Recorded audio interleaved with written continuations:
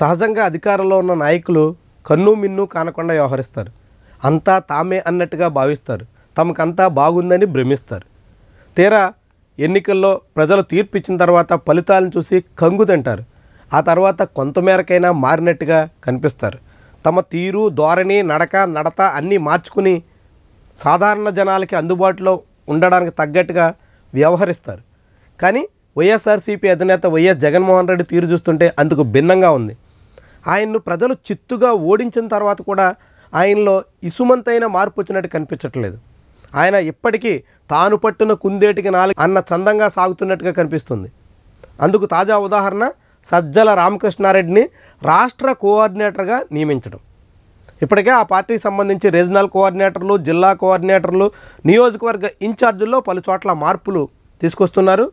ఎన్నికల ఫలితాల తర్వాత దానికి అనుగుణంగా అనేక చోట్ల సర్దుబాటు చర్యలు జరుగుతున్నాయి. అదే క్రమంలో సజ్జల రామకృష్ణారెడ్డిని ఏకంగా రాష్ట్ర కోఆర్డినేటర్ హోదాలో జగన్మోహన్ రెడ్డి నియమించారు. అంటే ఇన్నాళ్ళుగా సజ్జల రామకృష్ణారెడ్డి ఏ బాధ్యతలు అయితే నిర్వహిస్తున్నారో ఇప్పుడు మళ్ళీ ఆయన అదే రీతిలో మొత్తం పార్టీని తన కనుసన్నల్లో నడపబోతున్నారు. ఇప్పటికే సజ్జల రామకృష్ణారెడ్డి సకల శాఖల మంత్రిగా వ్యవహరించి వైఎస్ఆర్సీపీని ఎంత భ్రష్టు పట్టించారో ఆ పార్టీ శ్రేణులంతా చెప్తున్నారు. పార్టీని ప్రభుత్వాన్ని పూర్తిగా అబాసుపాలు చేయడంలో సజ్జలదే ప్రధాన పాత్రని చాలామంది అభిప్రాయం. ఓటమి తర్వాత చాలామంది నాయకులు కూడా బహిరంగంగానే ఈ మాట చెప్పారు. కొందరు ప్రైవేటు వ్యవహారాల్లో జగన్మోహన్ రెడ్డి చెవిని కూడా వేశారు కానీ దాన్ని జగన్మోహన్ రెడ్డి అంగీకరించలేదు. సజ్జల రామకృష్ణారెడ్డి కారణంగా పార్టీ నష్టపోయిందన్న విషయానికి సస్యమీర అంటున్నారు వైఎస్ జగన్మోహన్ రెడ్డి. అందుకు తగ్గట్టుగానే ఇప్పుడు మళ్ళీ పార్టీలో పూర్తి స్థాయి బాధ్యతలన్నీ సజ్జల రామకృష్ణారెడ్డికి అప్పగించేందుకు నిర్ణయం తీసుకున్నారు. ఇది ఆ పార్టీకి మేలు చేస్తుందా? అంటే గడిచిన ఐదేళ్ళు ఏం చేసిందో ఇప్పుడు కూడా అదే చేయబోతుందా? బహుశా జగన్మోహన్ రెడ్డి ధీమాగా ఉండొచ్చు. చంద్రబాబు ప్రభుత్వం చేసే తప్పిదాల వల్ల చంద్రబాబు ప్రభుత్వానికి పెరుగుతున్నటువంటి వ్యతిరేకత కారణంగా తిరిగి మళ్ళీ ప్రజలు నన్నే ఆశ్రయిస్తారు మళ్ళీ మాకే పట్టం కడతారు అని ఆయన భ్రమిస్తున్నట్టు కనిపిస్తుంది. కానీ ఏదైనా ఒక ప్రభుత్వం మీద వ్యతిరేకత పెరుగుతుంటే దాన్ని సొమ్మి చేసుకోవాలంటే విపక్షం కూడా దానికి తగ్గట్టుగా వ్యవహరించాలి. గతంలో చేసినటువంటి అనేక తప్పిదాల నుంచి పాఠాలు నేర్చుకున్నామని ప్రజలకు అనిపించాలి. కనీసం ప్రజలకు అనిపించేలా చేయాలి. లేదు మేము అప్పుడు ఇప్పుడు ఎప్పుడు ఒకేలా వ్యవహరిస్తాం. మేమేమీ మారలేదు అన్న అభిప్రాయాన్ని ప్రజల్లోకి పంపించేందుకు అదే ఆలోచనని జనాల్లో సంకేతంగా ఇచ్చేందుకు ప్రయత్నం చేస్తుంటే అది వైఎస్ఆర్సీపీకి ఖచ్చితంగా మరింత ముంచేందుకు కారణమవుతుంది.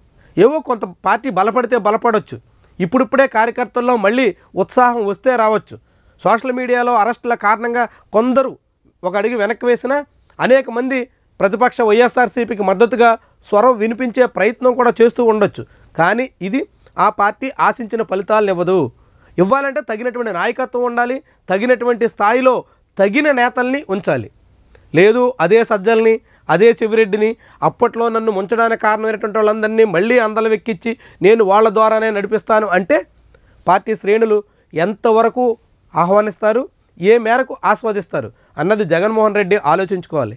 ఇప్పటికే సోషల్ మీడియాలో సజ్జల రామకృష్ణారెడ్డి నియామకం మీద అనేక మంది పెదవి విరుస్తున్నారు. తమ అసహనాన్ని అసంతృప్తిని బాహాటంగానే వెల్లడిస్తున్నారు. వాళ్ళందరి అభిప్రాయాలు చూసిన తర్వాతైనా జగన్మోహన్ రెడ్డిలో మార్పు వస్తుందా? లేదంటే నేను మారని మనిషిని నేను మారేందుకు సిద్ధంగా లేని నేతని అని ఆయనే చెప్పుకుంటున్నారా? జగన్మోహన్ రెడ్డి మారకుండా ఆయన తీరులో మార్పు రాకుండా ఆయన వ్యవహార శైలిలో అవసరమైన మేరకు తగిన మార్పులు చేసుకోకుండా ఆయన మళ్ళీ ప్రజలకు చేరువయ్యే అవకాశం లేదు. ఆయన్ని ప్రజలు ఆశీర్వదించేందుకు అంత సులువు కాదు. కాబట్టి జగన్మోహన్ రెడ్డి తన నిర్ణయాల్ని సమీక్ష చేసుకుని తన క్యాడర్ తన అభిమానులు తన ఆలోచన పనులు తన శ్రేయస్సు కోరేవారు ఏం ఆశిస్తున్నారో తెలుసుకుని దానికి తగ్గట్టుగా వ్యవహరిస్తే ఆయనకే మంచిది లేదంటే మరింత మునిగిపోవడం ఖాయం అని చెప్పొచ్చు. వీడియో నచ్చితే లైక్ చేయండి కామెంట్ రాయండి షేర్ చేసి సబ్స్క్రైబ్ కూడా చేయండి. Thank you for watching